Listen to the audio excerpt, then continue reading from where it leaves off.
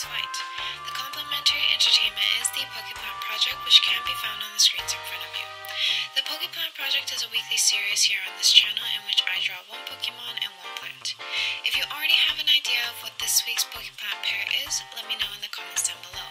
If not, no worries, keep on watching and happy guessing.